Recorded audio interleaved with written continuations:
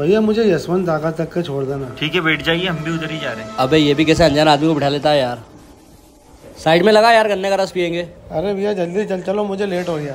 अरे यार भैया तुम्हारे साथ तो थोड़ी चलेंगे यार। मैं आता हूँ पाओ सिगरेट लेके। क्या बार बार गाड़ी रोक लो जल्दी चल चलो ना। तो पार्टी करने आ रहे हैं हमारे हिसाब से जाएँगे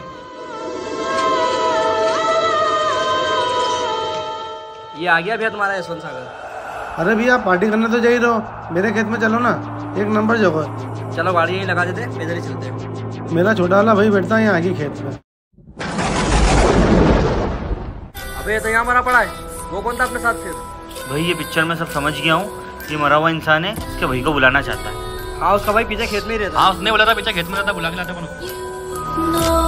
मामा जी जल्दी खेत के पास आ जाओ।